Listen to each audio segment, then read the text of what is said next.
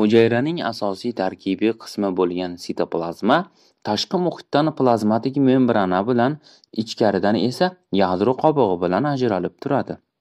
Sitoplazma hujayraning yarim suyuq holatdagi ichki muhitidir.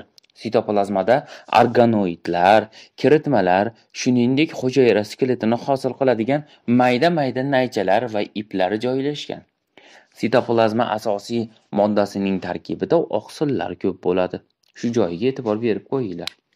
Sitoplazma barcha organoidlarni bir butun qilib birlashtiradi va hujayra faoliyatini ta'minlab boradi. Sitoplazma organoidlarning umumiy va xususiy, membranali va membranasiz organoidlarga ajratish mumkin. Ya'ni organoidlar umumiy va xususiylarga ajratilar ekan, bundan tashqari membranali hamda membranasiz organoidlarga ajratiladi. Umumiy organoidlar organizm tarkibidagi barcha hujayralarda uchraydi. Ularga mitoxondriya, hujayra markazi, Golgi majmuasi, ribosoma, endoplazmatik tor, lizosoma va plastitalar misol bo'lsa, xususiy organoidlar ayrim hujayralardagina uchraydi. Ularga misol qilib, infuzoriya hujayrasidagi kiprikchalar, evgelina va spermatozoiddagi xivchillar, epiteliy hujayralardagi tonofibrillalar nerv hujayralaridagi neyrofibrillalarni misol qilib keltirishimiz mumkin. Organoidlarni o'rganib chiqishni boshlaymiz. Birinchi o'rganadigan organoidimiz endoplazmatik tor. Murakkab membranalar tizimidan iborat bo'lgan bu organoid barcha eukariot hujayralarini sitoplazmasini qamrab olgan.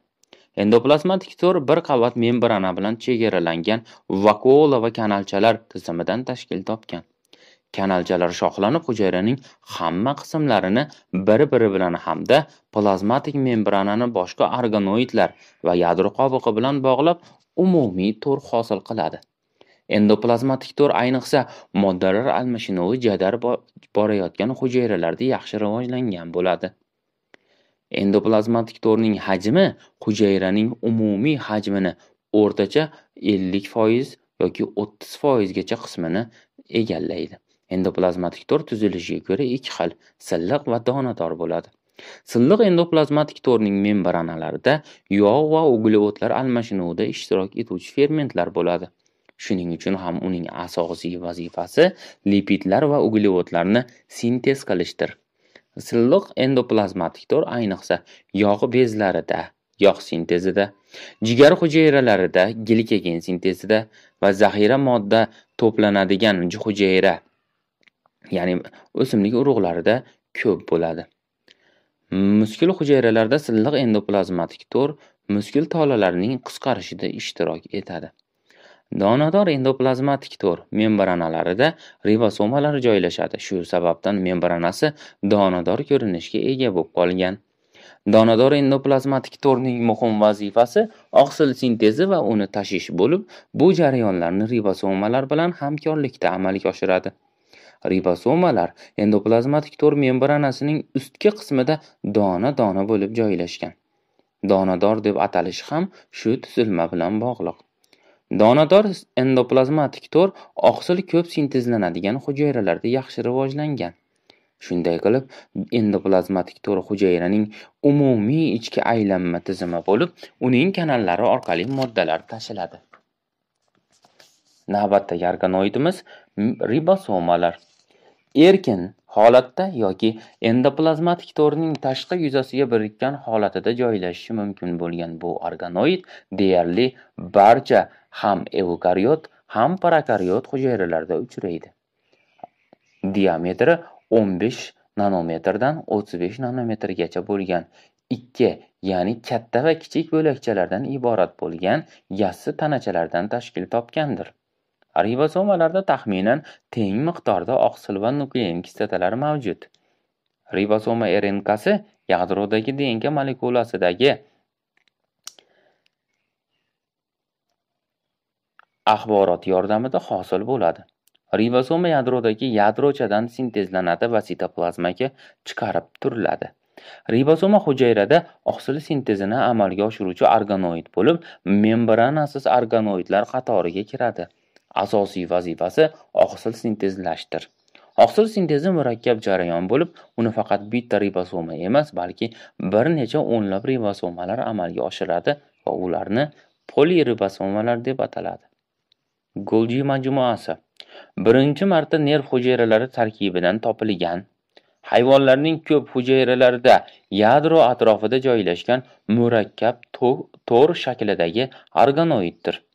O'simlik va sodda hayvonlar hujayralarida o'roqsimon yoki tayoqchasimon ayrim tanachalardan iborat. Elektron mikroskopda tekshirilganda Golgi majmuasi membranalar bilan chegaralangan va to'p-to'p bo'lib joylashgan yassilangan bo'shliqlar. Bu bo'shliqlar 5 tadan 10 tagacha bo'ladi. Yassilangan bo'shliqlar yirik vakuolalar va mayda pufakchalardan tuzilganligi aniqlangan. Uning membranalari silliq tuzilgan. Golgi majmuasi ko'pincha energiya almashinuvi sodir bo'ladigan ovqat hazm qilish jarayonlari e, amalga oshiriladigan hujayralarda ko'proq bo'ladi.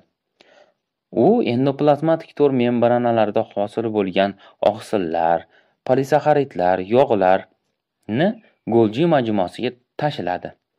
Uning ichida bu birikmalar o'zgarishlarga uchrab, ajralishga tayyor shira sifatida o'ralib, kerakli joyga uzatiladi yoki hujayraning hayot faoliyati uchun foydalaniladi. Demak, hujayra ichidagi birikmalarni o'zgarishga uchrab, tayyor shira holda ajralishiga Golgi majmuasi asosiy ahamiyatga ega bo'lgan organoid ekan. Golgi majmuasi faoliyati tufayli plazmatik membrana yangilanib turadi va o'sib boradi. Mitoxondriya yunonchasiga mitos ip, xondro donador degan so'zlardan olingan bo'lib, bir va ko'p hujayrali organizmlarning barcha eukariot hujayralarida mavjuddir. Mitoxondriyalarning hayvon va o'simlik olamida bunday keng tarqalishi ularni hujayrada muhim ahamiyatga ega ekanligidan darak beradi. Mitoxondriyalar turli-tuman shakllarda ya'ni yumaloq, yassi, silindrsimon hattoki ipsimon ko'rinishlarda ham uchraydi. Ular 0,2 mikrometrdan 15-20 mikrometr kattalikkacha bo'ladi. Ipsimon shakllarining uzunligi aynan shu 15-20 mikrometrgacha boradi. Turli xil to'qimalardagi mitoxondriyalarning soni bir xil emas. Ularning soni hujayraning funksional faolligiga bog'liq.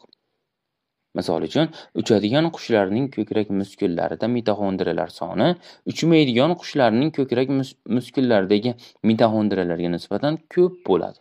Juda ham ko'p bo'ladi. Mitoxondriyalar ikki qavatli, tashqi va ichki membranalar bilan o'ralgandir. Tashqi membrana silliq, ichki membrana esa burmali bo'lib, krista deb ataladi. Kristalar membranasida juda ko'p fermentlar joylashgan. Ular energiya almashinuvida ishtirok etadi. Mitoxondriyalar yarim avtonom organoid bo'lib, ularning membranalar aro bo'shlig'ida DNK, RNK va ribosomalar bo'ladi. Mitoxondriya bo'linish yo'li bilan ko'payadi. Mitoxondriyalar bo'linishidan oldin ularning DNKsi ikki hissa ortadi. Mitoxondriyaning eng asosiy vazifasi energiya hosil qilish, ya'ni ATF sintezlashdir. Plastidalar O'simlik hujayralari uchun xos bo'lgan organoid bo'lib, ular anorganik moddalardan birlamchi uglevodlarni hosil qilishda ishtirok etadi. Plastidalar uch guruhga ajratiladi. Birinchisi leykoplastlar. Ular rangsiz plastida bo'lib, rangsiz qismlarida, masalan, o'simlikning poyasida, ildizi, tugunaklarida bo'ladi. Leykoplastlar asosan monosaxarid va disaxaridlardan kraxmal hosil qilishda ishtirok etadi. Faqat ayrimgina leykoplastlarda oqsil va moylar ham to'planishi mumkin. Xloroplastlar bu organoidlar o'simliklarning bargi, bir yillik novdalari, pishib yetilmagan mevalarda ko'p bo'ladi. Xloroplastlarda fotosintez jarayoni amalga oshadi. Xloroplastlarda ATF mitoxondriyaga nisbatan 30 barobar ko'proq sintezlanadi. Har xil rangga ega bo'lgan plastida bu xromat xromatoplastdir.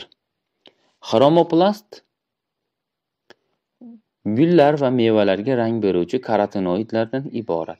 Gul toji barglar va mevalarning har xil ranglarda sariq, qizil, zarg'aldoq kabi ranglarda bo'lishi aynan shu xromoplastlarga bog'liqdir. Plastida membranalar o'rtasidagi bo'shliqda DNK, RNK va ribosoma bo'ladi. Plastidalar o'z ontogenezida bir ikkinchisiga aylanib turadi. Ya'ni bir plastida ikkinchi xilga aylana oladi. Xloroplastlar xromoplastlarga, leykoplastlar xloroplastlarga aylanishi albatta mumkin. Navbatdagi organoidimiz lizosomalar. Lizis eritaman, soma tanacha degan so'zlardan olingan bu organoid uncha katta bo'lmagan yassi tanacha shaklida bo'lib, diametri 0.4 mikrometrdir. Bir qavat membranalar bilan o'ralgan, oqsil, uglevod va yog'larni parchalaydigan 40 ga yaqin gidrolitik fermentlarga ega. Lizosomalar Golgi majmuasidan yoyinki to'g'ridan-to'g'ri endoplazmatik to'rdan hosil bo'lishi mumkin. Lizosomalar oziq moddalarni aktiv hazm qilish layoqatiga ega bo'lib, hujayraning hayot faoliyati natijasida nobud bo'lgan hujayra qismlarini yo'qotishda ishtirok etadi.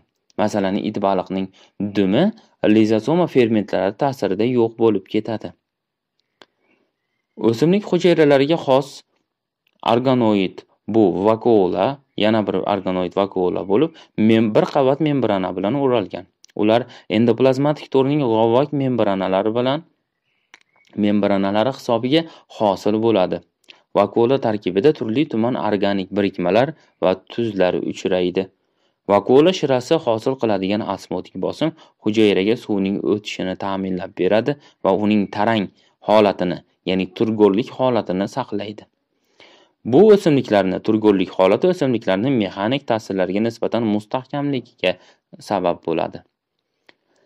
Hujayra markazi yoyinki sentriola ikkita silindr shaklidagi kichik tanachalardan iborat bo'lib, bir-biriga nisbatan perpendikulyar joylashgan tuzilmalardan tashkil topgan. Ular sentriola deb ataladi. 9 bog'lamdan iborat sentriola devorlari har biri 3 ta mikronaychani o'z ichiga oladi. Sentriola sitoplazmaning o'zidan o'zi ko'payadigan organoididir.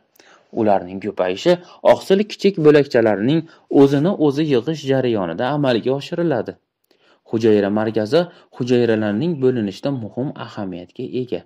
Ular bo'linish urchug'ini hosil bo'lishda ishtirok etadi. Ko'pchilik o'simlik va suv o'tlarida hujayra markazi bo'lmaydi.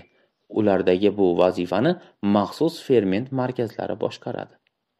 sitosklet Eukariot hujayralarga xos bo'lgan xususiyatlardan yana biri uning sitoplazmasida mikronaychalar va oqsil tolachalardan iborat bo'lgan tayanch skelet tuzilmalarining mavjudligidir.